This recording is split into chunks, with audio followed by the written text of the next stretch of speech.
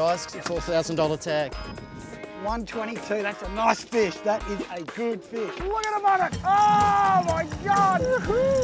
You ripper. Sacrifice my own blood for everyone. All right. And then I'll just guide him in. He's a nice, that is a nice bluefin. Thanks, mate. Well done, mate.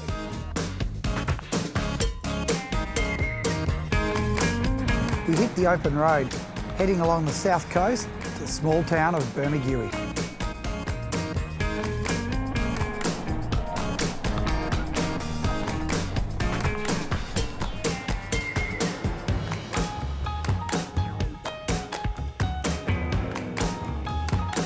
Welcome to Bermagui. We brought Sean Tracey along, who's tagging southern bluefin tuna as part of his research. Now, Sean, we've done a bit of tagging in the past. What's the deal with your tagging? Give us the rundown. So what we're looking at doing now is using satellite tags to look at the post-release survival of Yep. uh, southern bluefin tuna. And with those tags, we can also get a lot of information about their movement up and down and around the coast. Okay, so how are we going to do this? How are we going to get these tags in and how do they work? We'll go out, um, we've got the tagging poles, we bring the fish on, onto the boat, uh, we put the tag in, and then we turn the fish around as quick as possible and get it back in the water.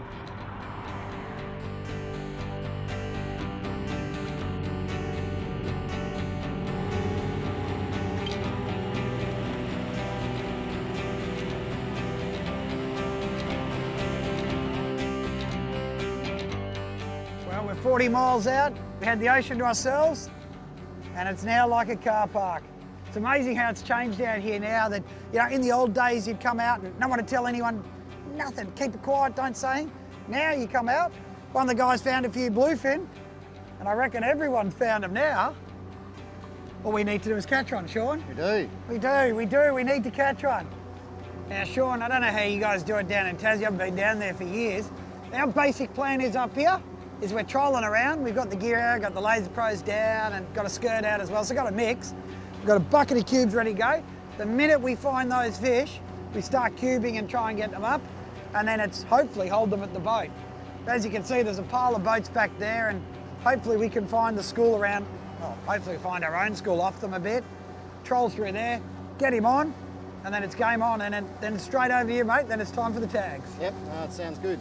Yeah, that's pretty similar to how we do it in Tassie, but we don't get to do the cubing because we've got a few issues with seals that, that uh, show quite an interest in the Yeah, in bait if we seals- start throwing it over the side. Yeah, the seals are becoming a real issue down there now, aren't they? I don't think people realise they eat the tuna. Don't they eat 100 kilo tuna and stuff? Yeah, they do now. They've, they've sort of learnt over the last sort of five to ten years, and they've got more and more brave, and they'll come in and yeah, they'll have a go at a big fish as well. As soon as they get so- tired, they'll let you know. As soon as it wears down a bit, they're into it. Yep.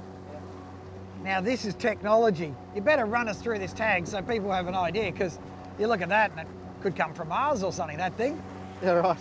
So down this end we've got the anchor. So this basically is what's inserted into the fish.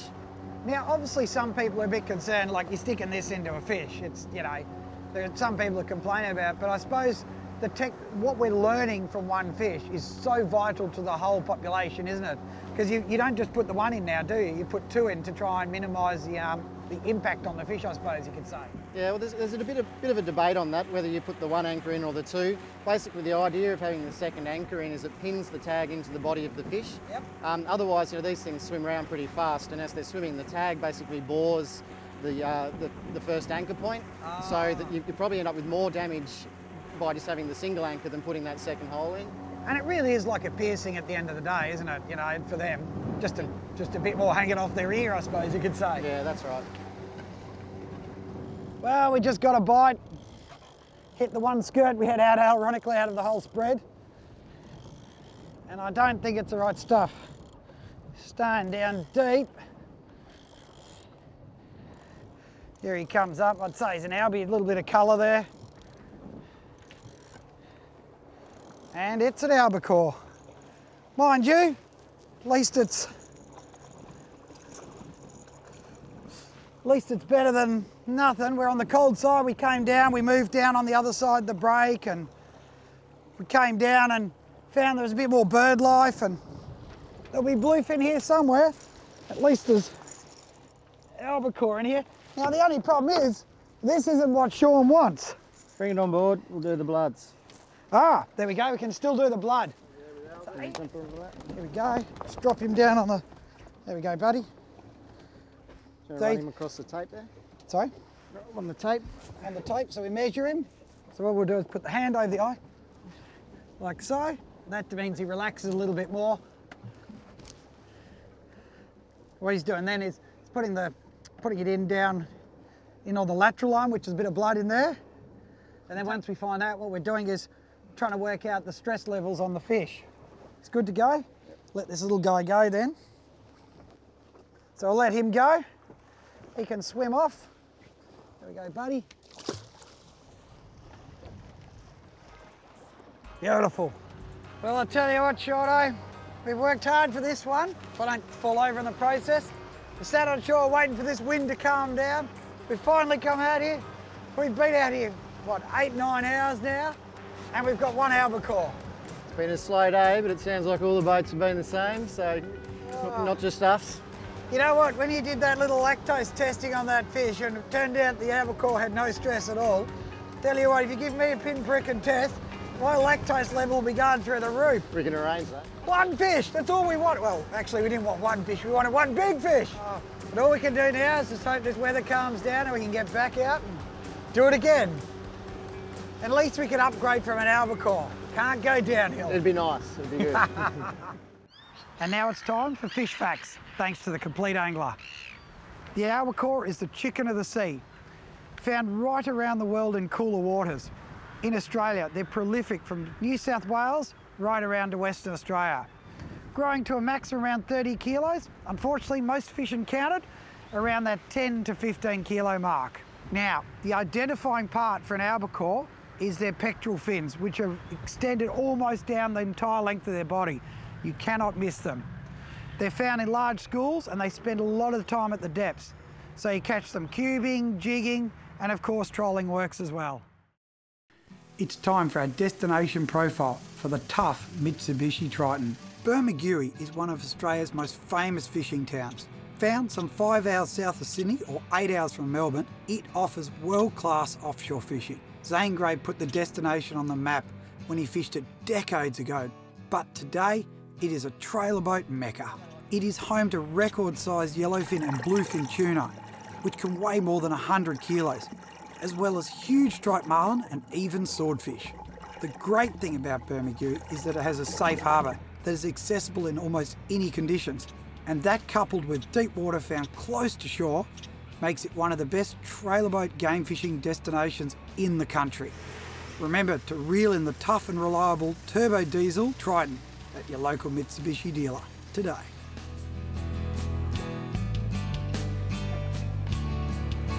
A couple of days of bad weather saw us stuck on shore. Then finally, the weather came good and we headed out at daybreak in search of the elusive bluefin.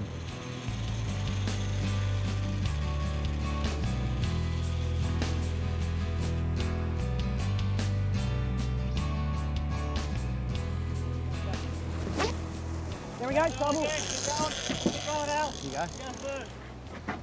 Just gotta keep- Oh, he's just got on the popper! Oh my God! You ripper! Right, just watch your line on mine. Just, just watch those two. No, you over? You're over. Is that right? Just slow down. Hang on. Just wind, start winding them up.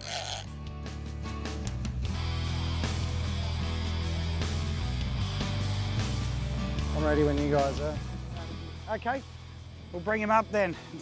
We worked so hard for this. It's a bit bigger than I thought. Ugh. Okay. Uh, this is insane. Have a look at this. We've worked hard, I tell you, Sean. We've worked hard for these ones. He's got that, and you can see the tag just going in here. I'm holding him down for you, beautiful. He's locked it in. Remember we are saying it's got two points on it? Now see if you can see there, poor old Vic's fighting the next one in the background. This is chaos. it's unreal. And this is what it's all about. It's hours of nothing, minutes of mayhem. Ready to go, guys. Rightio, you want to put him in? Yep, that's all right. Look at this. There he- Got a pole. Oh my God. Have a look at this. He's got a set tag going in. He's going to feed it for a sec. Sorry, mate. I'll come here. That's what we wanted, Vic. That is it. Oh, they're blowing up all over the place. This is it. We've been going for hours. Oh, this is it. We've been going for hours. We've been looking and looking. We've been working so hard. And I tell you, all of a sudden, it's in there going, oh, we got to go home. We got to go home. It's my birthday. Got to go home. And all of a sudden, ah, ah, everything goes off. Oh, awesome. Well, as soon as we hooked up, we had a double on. We've still got one here. We've just put one back in the water. Vic got the popper, got the halco, the big rooster, cast it out, bloop, bloop, boom, got him on. At the back of the boat, there's a Oh, they're just right there. All right, I'm ready to go, More guys. pillies. Okay, look at them just swimming around it. Look at them in the, look at them in the water. Yeah, that's the one we're hunting for the tag in.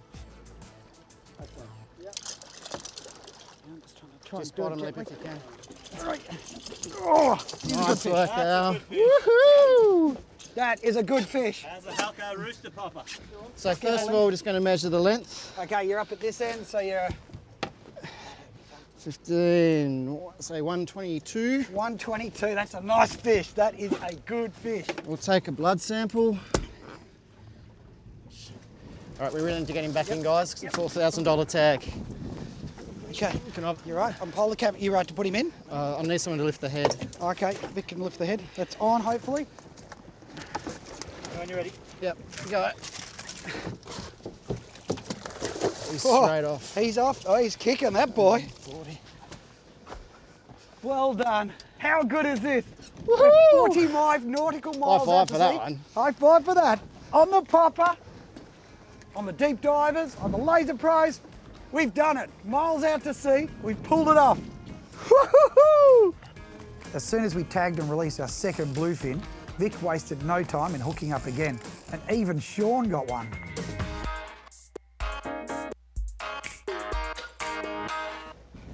I tell you what, as you can see, it's a bit of chaos here. Vic was straight into it. Put the popper out there.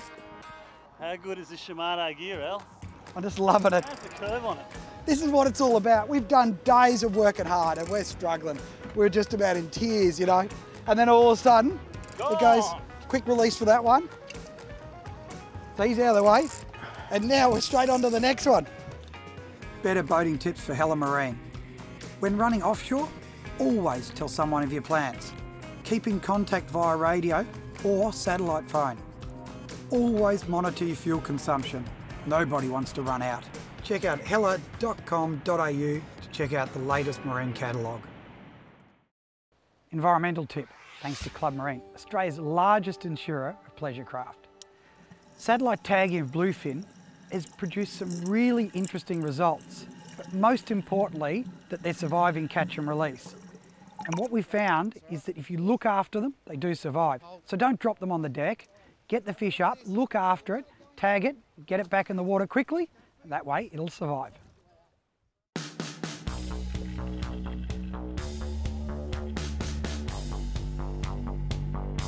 Now, Sean, tell me about your research. It looks like hard work. Yeah, it's a tough job, Al, but someone's got to do it. Look at that, that's a beautiful fish. You can just hold him there now, right? That's a nice fish. Must be close 35, maybe crack 40 probably. They're fat little guys. Oh, that's just magic. Good on the heavy tackle. We can really give it to them. That's why we're fishing heavy, so we can bring these guys up fast, get them in, get the tags in, which we've been doing, and get them back out. You But want I, to trace him there, Al, you reckon? but I tell you what, woohoo! I can tell them all over the place. I'm so excited. You bring him in. Let's bring him in. We're going to do the blood on this one. Yep, absolutely. Oh, there you go. Should be right to grab the gills there as well, and I'll.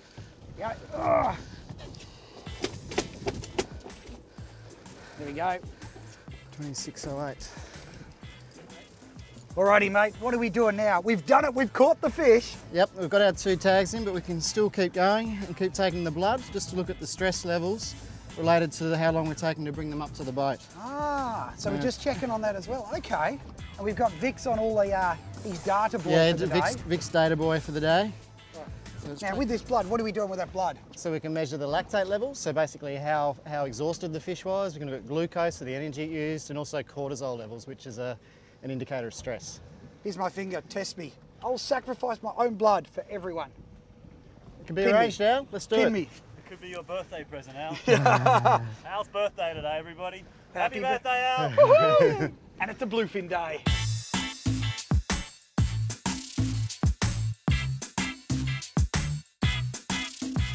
All right, Al, so we've uh, just measured the stress out of those three fish we've landed. The most stressed fish had a lactate level of about 10. Oh, so now, so people understand, a lactate level, that's not just stress, is it? That's exertion, is that? Yeah, that's exactly right. It's like, it's like lactic acid build-up when you start running. Okay, mate, let's see how I go against these fish. Can I get a lactate of higher than 10? Okay, Al, you realise that means I need a blood sample from you? Yeah, it's all right, no big knives, keep away Vic. No big knives or anything, is it? All right, and I'm, I'm not doing it. It's on you. Here we go. Yowzers. Oh, yep, here it goes. If you squeeze your finger, it comes out a Oh, lot wow. easier. That's got it there now. All right, so we'll put your blood onto the uh, lactate meter. Wait for the, and there we go. Oh, is that all it is? Six, 60 seconds and we'll know the answer. Will I be more than the fish? What, what was it? Are we there? All Tell right, me. the results through now, 4.8. Got beaten by fish.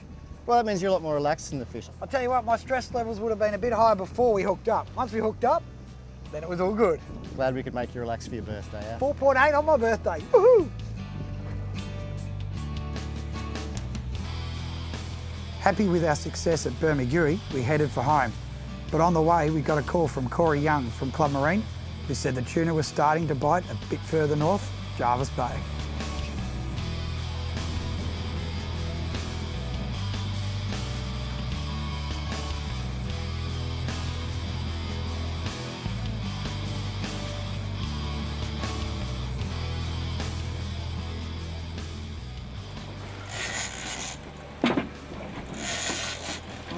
Stuff.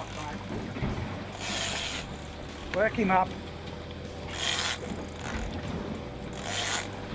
You just don't know what it is, you bring it up like that. You know, we're way out here, I don't know, 40 miles or something at the moment. And we have got, for the lucky draw, Albie by look at. Oh, nice Albie. Swinging under here.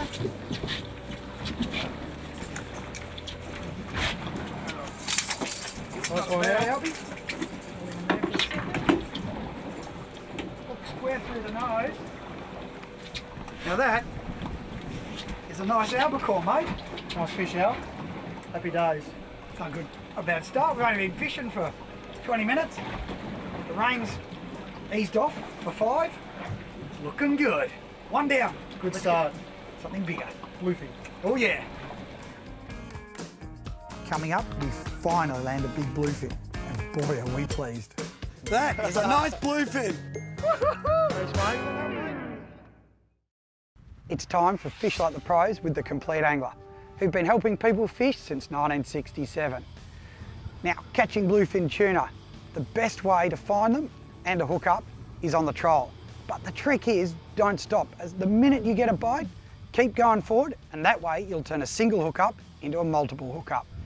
And remember, for all the latest and greatest on what's happening on the water, drop into the Complete Angler. First one, pick it up, Corey. Tell you what do, Corey, but start now. Double hookup! Woo-hoo-hoo!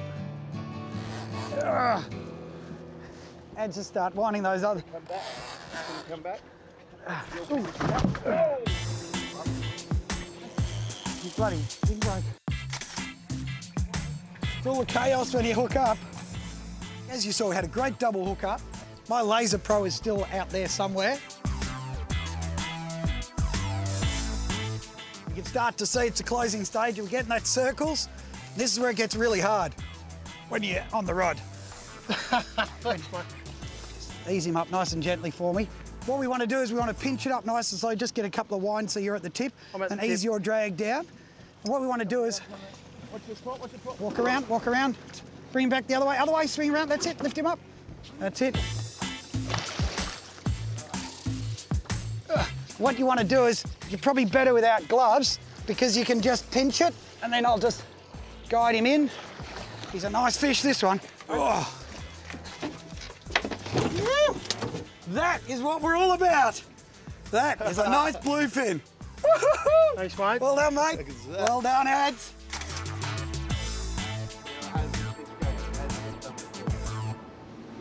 Well, mate, we got you one. We promised it. We got you a, a damn good bluefin. How did that feel? Mate, fantastic. It's uh, probably the biggest one that I've ever caught by far. It's uh, sensational. You said earlier today, earlier this morning, we'd get one, and you put us on the spot. Send that head around. I tell you what, persistence, it pays off, and you end up with an awesome fish like this. You bloody ripper, mate. Very well happy, done. Al. Thanks, mate. Club Marines tips of the week. Firstly, when the tuna are on, drop everything and go. Secondly, troll to find the fish. And finally, when you find them and you hook up, throw some pillies in and get those fish fired up.